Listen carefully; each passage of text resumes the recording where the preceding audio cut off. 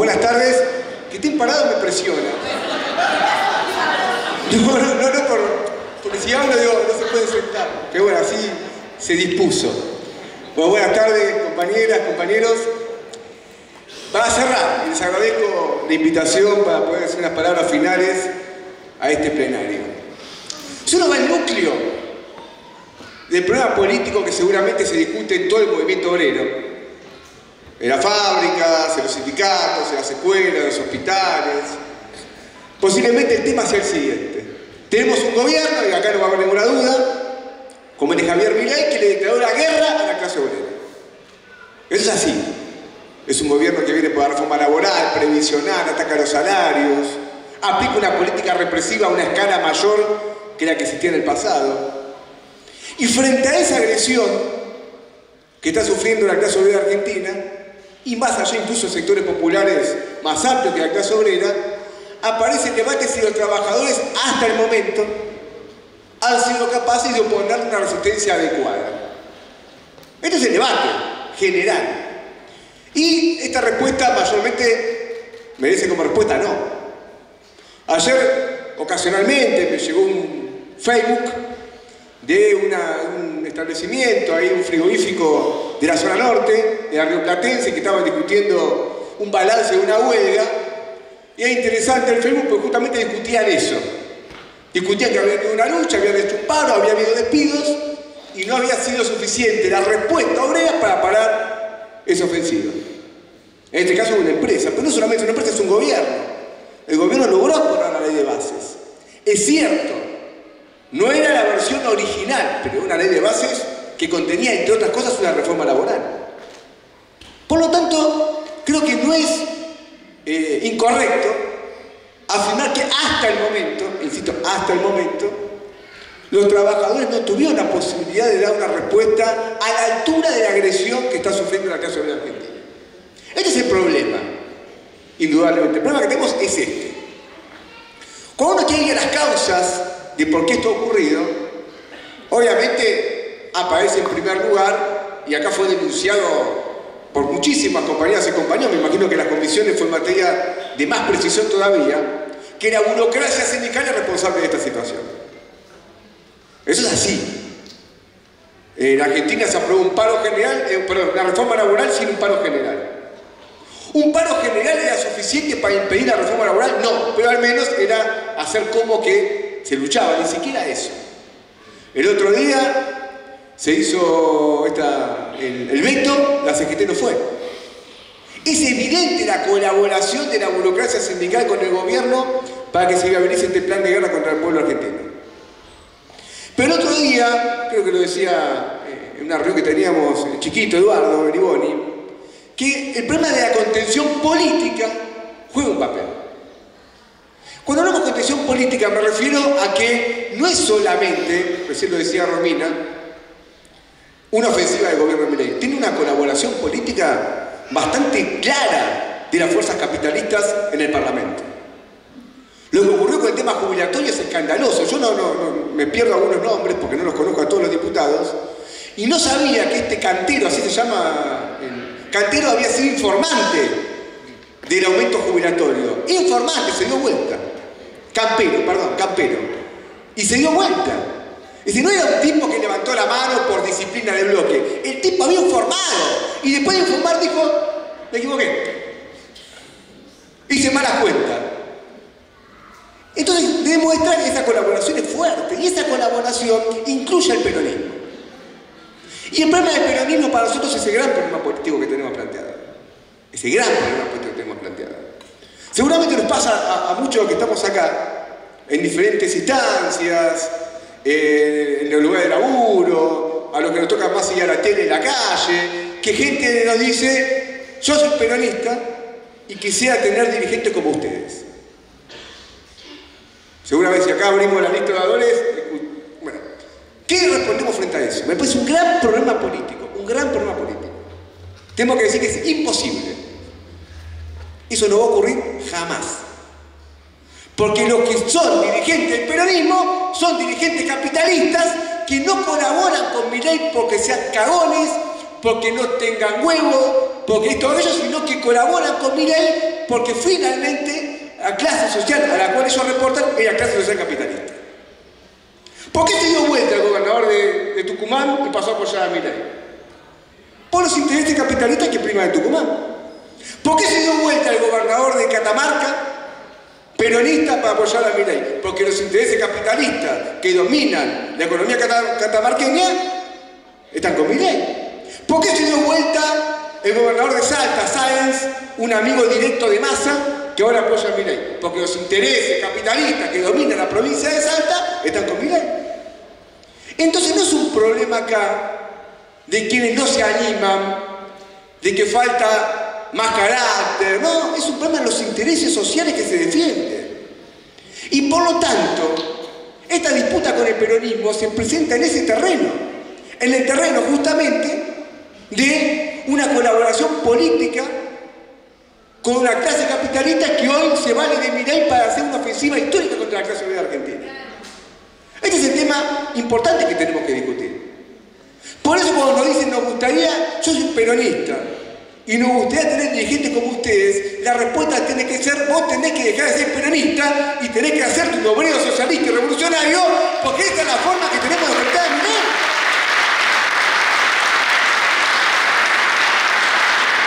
Ese problema político es clave para nosotros, es clave. Porque si no pareciera que ser peronista para un dirigente de izquierda sería solamente un problema de cuál es el grado de lucha contra el gobierno. No es así, es un problema de clase social a la cual se milita y se pretende defender y se quiere representar. Y este aspecto tenemos que ver porque está presente en el conjunto del peronismo. Si ustedes ven la carta que publicó Cristina Fernández de Kirchner hace unos días atrás, o escuchan la conferencia que yo dio ayer Cristina Fernández de Kirchner, creo que en la Universidad de Merlo, una de esas, de la zona oeste de la provincia de Buenos Aires, se van a dar cuenta de eso.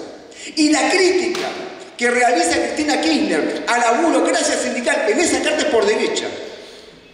Cristina hace lo que es casi imposible, colocarse a la derecha de Andrés Rodríguez. Esto es imposible, una persona no se puede. a la derecha de Andrés Rodríguez no hay nada Bueno, ella se pone a la derecha de Andrés Rodríguez. Y dice que hay que tener en cuenta que la nueva no sé cuánto, por la sociología, no sé qué cosa, hoy la clase obrera ya no es la del pasado, y de ese modo justifica como una fatalidad una precarización laboral que ha sido el resultado de la política capitalista contra los trabajadores y no una fatalidad histórica de un desarrollo económico. Pues con el desarrollo de la fuerza productiva que hemos tenido, lejos, si gobernase la clase obrera, de precarización laboral, tendríamos una reducción de la jornada de trabajo, mejores salarios, una capacidad adquisitiva más alta de nuestros ingresos, una mejor educación y salud. Depende cuál sea la clase social que gobierna el país y es que monopoliza las fuerzas productivas de ese país, es si ese desarrollo va a favor de la mayoría o beneficia a una minoría, en detrimento de la mayoría. Y la política del kirchnerismo tiene que ver con esto. Y esa colaboración indudablemente aparece como un freno. Aparece como un freno. Porque las direcciones sindicales que reportan el peronismo no van a desarrollar nunca un movimiento huelguístico de fondo, primero porque se, demostraría la incompatibilidad de una dirección burocrática con una buena general, y segundo porque los intereses sociales que ellos reportan son intereses capitalistas. Este es el tema que está planteado acá para nosotros en los debates que tenemos por delante. Por eso cuando se dice el otro día, en una canción esta que pasan en joda y en, en las redes sociales, uno decía, ¿por qué las protestas son todas troscas? O sea, ¿qué, le pasa al peronismo? Que no hace nada y que las protestas son todas troscas. Bueno, no es que le pasa algo al peronismo, lo que le pasa es que el peronismo está gobernando para lo que se lleva el litio, para lo que se lleva el oro de Santa Cruz. Gobierna con Kicillof armando un RIGI especial del mismo modo que lo pone Cristina Kirchner en su carta, diciendo, ah, de RIGI, si yo fui la que armé el pacto con Chevron y con Petronas, que es lo que viene a hacer ahora Mireille. Estos son los intereses sociales que están detrás. Y reclamarle, si uno reclama mucho al peronismo, ¿dónde está el problema? Es que hay una ilusión. ¿Se entiende el problema? Si vos le reclamás mucho a alguien, pensás que ese alguien te va a dar bola. Cuando nuestra conclusión política de fondo tiene que ser que eso se acabó y que tenemos que desarrollar una lucha independiente, recuperar los sindicatos y construir un partido obrero. Porque como nunca, la cuestión política y sindical van de la mano. La cuestión política y sindical va de la mano. Entonces, yo quiero hacer un agregado más. Porque ¿cómo vemos la situación? Uno dice, ¿tenemos dificultades para enfrentar esta ofensiva capitalista? Sí la tenemos. Y si la tenemos, ¿cómo la vamos a enfrentar? Luchando. Porque hay que luchar denodadamente contra este gobierno y contra la clase capitalista. Ganemos o perdamos algunas luchas. Repito, ganemos o perdamos algunas luchas. Hay algunos vivos de izquierda, o que eran de la izquierda, la asociación kirchnerista, y dicen, no, nosotros no perdemos, la lucha del peor pierden, nosotros ganamos. ¿Qué pasa por alto? Que cuando ellos van a, pueden perder, no luchan. No, no, nosotros lo luchamos. Pero echamos gente. Ah, bueno, pero yo no luché, así que no perdí. ¿Cuál es la gracia de decir que no perdiste si te echó los compañeros sin luchar? En cambio, en cambio, en cambio, si activistas están dispuestos a luchar incluso cuando la cuestión viene difícil, si ganan perfecto y si pierden, eh, aportaron a que se forme una generación obrera que mañana su compañero fue despedido luchando, vaya a otra fábrica, va a organizar esa fábrica y el movimiento obrero se multiplica con luchadores que luchan cuando se gana y cuando se pierda. Acá lo tenemos a Néstor Pitrola. En el 87 ocuparon la planta de Atante. Íbamos a ganar, perdón. ¿No, ¿Cuánto? 97, perdón, ya le sumé 10 años más. 97. 97. Él siempre explica que sabían que iban a perder. Pero nosotros, cuando íbamos a perder, ocupamos una planta y luchamos. Primero porque de antemano uno nunca sabe exactamente si va a perder o no. Y segundo, porque estamos abriendo un curso para el movimiento obrero. Pero también se puede ganar. ¿Y por qué se puede ganar? Y aquí quiero agregar un hecho que me parece importante que lo tengamos en cuenta. Se puede ganar porque, ojo, que las dificultades que tenemos en una fábrica, en un sindicato, acá o allá, no nos puede hacer perder de vista los problemas de conjunto que enfrenta Argentina y que enfrenta el mundo. Tenemos una mirada muy estrecha y si nos vamos con esa mirada estrecha, este plenario no, no está cumpliendo los objetivos que nos proponemos, si solamente nos quedamos con eso. Nosotros hemos armado unas polémicas que creo que son adecuadas desenvolverlas.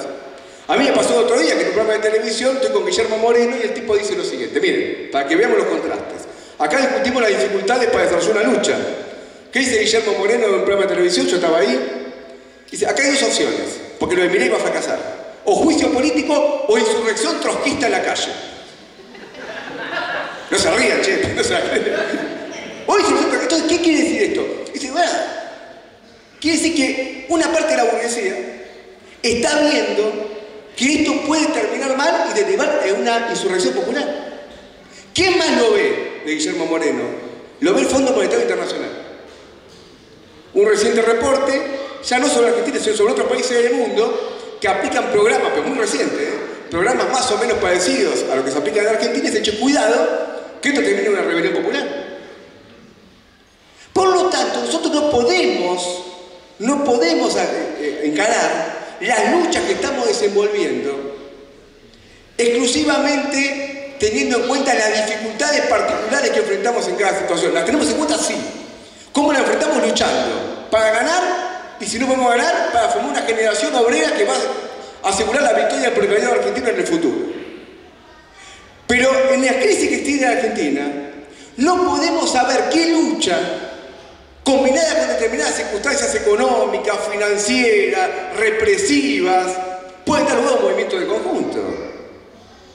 Para que me entiendan lo que digo, si mañana miráis y Patricia aburre y reprimen y matan a dos personas, ¿qué pasa?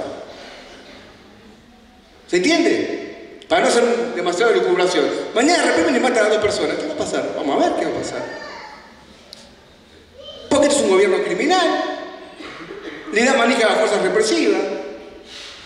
Y si mañana se produce una devaluación monetaria porque es insostenible, vuelve la inflación a crecer muchísimo, ¿qué va a pasar? Y si mañana un par de huelgas se combinan y porque se empecinan, se empecinan, se empecinan, ganan y abren un curso para el movimiento obrero. Entonces nosotros no tenemos la bola de cristal para saber en qué momento las tendencias cambian. Pero tenemos una parte de la burguesía que dice, cuidado, que acá puede haber una insurrección trotskista en la calle. Y cuando dicen trotskista, ¿por qué lo dicen? Porque ellos dicen nosotros la queremos evitar. La queremos evitar porque ahí no va a salir lo que nosotros queremos. ¿Y qué es lo que ellos quieren? Lo que ellos quieren es lo que está en la carta de Cristina Kirchner. Que la carta de Cristina Kirchner dice queremos una reforma laboral.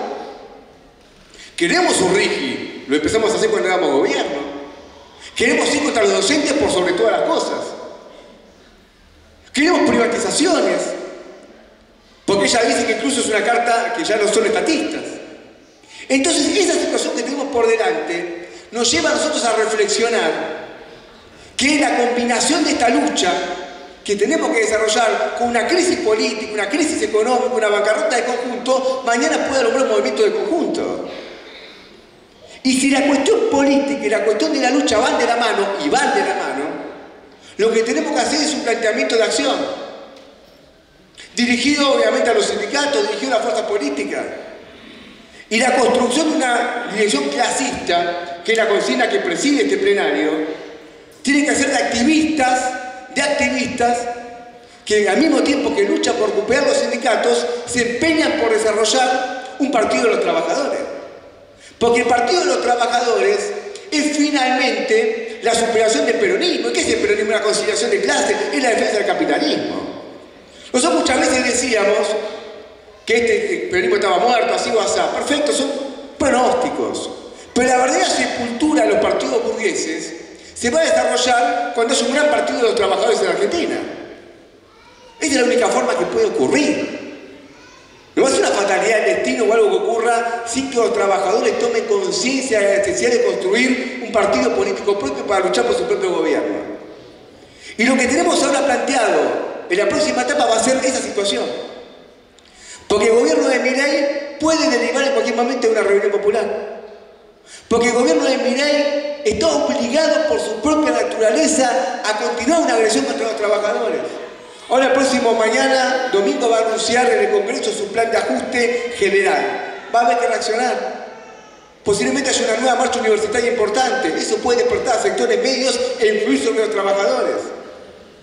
Entonces, para nosotros, no es que la cuestión política viene en los años impares y en los años pares hacemos sindicalismo, ¿se entiende? Y cuando es impar, hay elecciones. Vote los candidatos que luchan. Cuando es año par, huela general. No, el problema político es en los años pares. ¿Por qué en los años pares?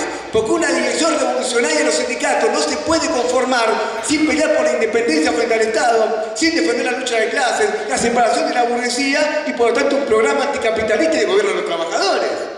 Esto es un tema par, del año par, porque si en el año par no está eso y en el año par prima el seguidismo y el peronismo, no va a haber una dirección nueva de los sindicatos. Entonces este tema político relevante es el que está planteado ahora y se discute en Argentina. Se discute todo el tiempo. Entonces cuando nos digan en la calle, cuando nos digan en la fábrica, cuando estemos en el vestuario en un lugar o en la sala de profesores de un colegio que digan, che, ¿por qué no hay dirigentes en el peronismo como ustedes? ¿Saben por qué? Porque el peronismo defiende el capitalismo. Y si el peronismo defiende el capitalismo, no va a tener dirigentes que se planten. Para que haya dirigentes que se planten hace falta un programa de independencia política, que luche y que organice, que no tenga ningún compromiso con la sociedad que queremos destruir. ¿Se ve el tema de fondo que está planteado acá? Y si lo hacemos con un gobierno de este tipo, es la clave. ¿Por qué? Para terminar, porque el pueblo argentino, y termino con esto, está pagando caro hasta el momento haber ingresado en esta fase de un gobierno tan derechista y reaccionario como el Javier Milei, sin los elementos adecuados. Uno me puede decir con razón, bueno, si tenía los elementos adecuados, lo hubiese ingresado, bueno, pero un poco más adecuados. Con 14 sindicatos clasistas, con, un, partidos de la clase obrera mucho más numerosos. No ingresamos con ese instrumental para poder defendernos. Lo tenemos que, bueno, mala suerte, va a haber que desarrollarlo de estas circunstancias. Pero ¿cuál es la ventaja? La ventaja es que un gobierno que desarrolla semejante agresión permite sacar conclusiones sobre la base de la experiencia. ¿Quién es el que defiende al laburante? ¿Por qué, como dicen ahí en gelatina, las luchas son todas troscas? Porque no tenemos que nada que hacer los trotskistas. Quieren luchar todo el tiempo porque no tienen hijos trotskistas, no ven partido de fútbol, tenemos lo que tenemos en todo el mundo. Solo que nosotros no tenemos compromiso con la clase capitalista, no gobernamos para Techín, para Petrona, ni para Chevron. Por eso podemos luchar. Entonces, esa es la conclusión que tenemos que desarrollar. La construcción de agrupaciones sindicales es fundamental en unidad con la construcción de un partido revolucionario. La pelea por la buena general, que reclama por lo tanto una iniciativa histórica de la clase obrera. Y eso lo hacemos en las pequeñas peleas. Y lo tenemos que ir agitando, agitando, agitando, agitando, porque es una etapa de agitación, al mismo tiempo que nos empeñamos por desarrollar las luchas que están en curso, se ganen o se pierdan, porque más allá de un resultado particular e inmediato, lo que tenemos como perspectiva de conjunto es una gran confrontación de clases en Argentina, en América Latina y en el mundo. Y para esta confrontación de clases, los instrumentos son conquista del sindicato, agrupaciones clasistas y partido revolucionario. Me diría, vino sábado a la tarde para escuchar lo que ya sabía. No, viniste para decir lo siguiente. Somos muchos que queremos esto, lo tenemos que llevar adelante y este es el compromiso de este plenario de la Coordinadora Sindical Clasista. Nada más que eso.